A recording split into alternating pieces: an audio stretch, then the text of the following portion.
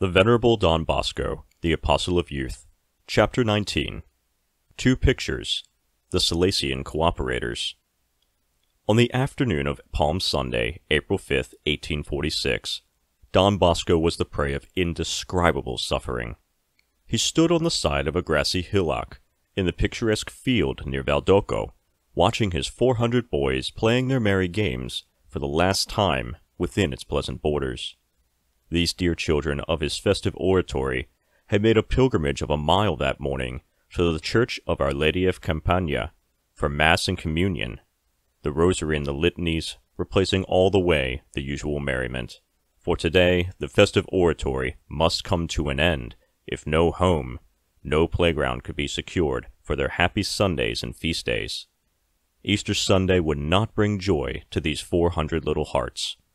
These grief-stricken hours of the watcher are feelingly portrayed by his eloquent and devoted son, Father Bonetti. The distress of the peasant who sees the hailstorm destroy his only crop, of the shepherd who is forced to abandon his flock to the wolves, was nothing compared to his affliction.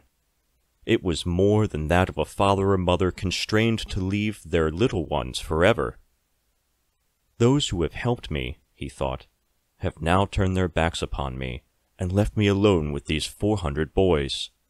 And my oratory must apparently come to an end this evening. Are all my labors, then, thrown to the wind?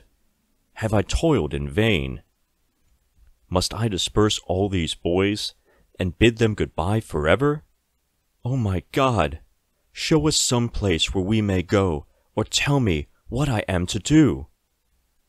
Even then the grievous trial was coming to an end, for at that moment a man leaped the fence and brought an offer of what would prove to be a permanent place of meeting.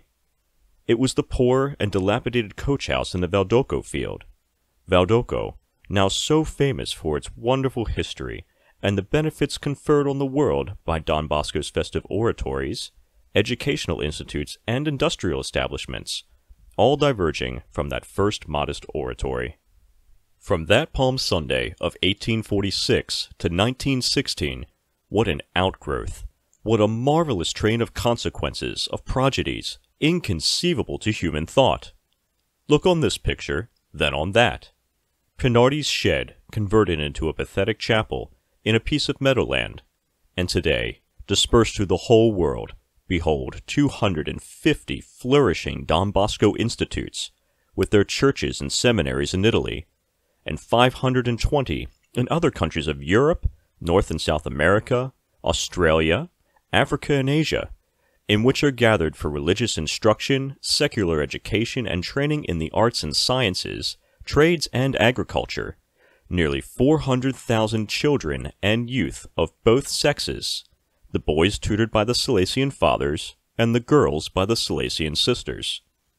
A question arises here. One is constrained to ask, where did the human resources come from?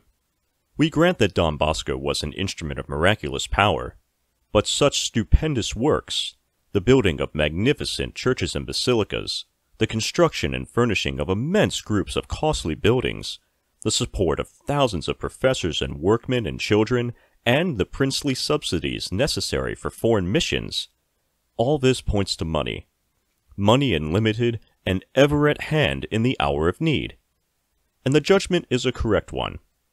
There was and is such an inexhaustible treasury, and it is found in the great hearts and generous purses of the noble army of Salesian cooperators, the Third Order of St. Francis of Sales, the backbone of the whole spiritual enterprise of Don Bosco, as a Salesian author has styled this union of magnanimous collaborators of the Society during its activities of seventy years. My readers will not be surprised to learn that this worldwide society of Salesian cooperators, now numbering hundreds of thousands of all ranks of society, had as lowly an origin as the first and second Salesian orders of Don Bosco. From the beginning of the oratory, numbers of Turin women gave their services to Mama Margaret as co-workers for Don Bosco's children, willingly washing and mending their garments and Don Bosco himself tells that when he picked up destitute boys on the streets of Turin, some kind ladies of rank charitably clothed these wretched youths, while rich young people interested in our work sought employment for them in different manufactories and shops, and were successful in placing a great number. To all these earnest laborers united in the cause of charity for the glory of God, Don Bosco gave a prudent and pious rule of life, and obtained for them many spiritual privileges. The saintly founder was preeminently an organizer, and as his works expanded, bringing with them a great accumulation of expenditures, he drew together, by the magnetism of his words and personality, a multitude of men and women, anyone over 16 was eligible for membership, and established the Society of Salesian Cooperators. The rule just alluded to was remodeled in order to meet the rising exigencies and to aid more effectually in the sanctification of these new sons and daughters of Don Bosco. To be good in themselves and to do good to others. This was the motto he inscribed in shining letters on the standard he raised before this solid phalanx of volunteers, this noble spiritual company of men and women of the world, when he formulated for them in 1858 the final code of rules. To be good according to the spirit of Salesian cooperators, declares the Cardinal Archbishop of Bologna, is to be good according to the spirit of the gospel, the spirit which attains its highest point in that great precept of Christ Be ye perfect as your heavenly Father is perfect. And then, to do good to others embraces a mission in some sense apostolic.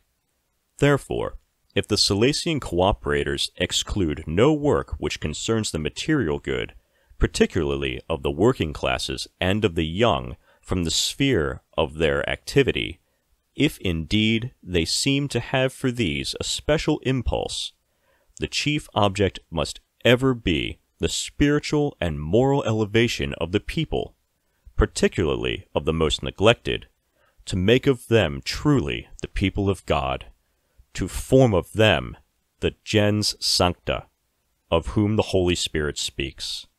Don Bosco submitted this revised rule to Pope Pius IX in 1874. His Holiness not only gave the new society his approval and blessing, but graciously placed his own name at the head of the list of cooperators. At the same time, according to it, all the indulgences granted to the Third Order of St. Francis of Assisi.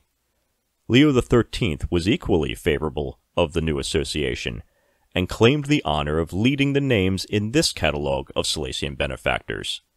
The male members were affiliated to the Society of St. Francis of Sales, and the women associates to the Society of Mary, Help of Christians.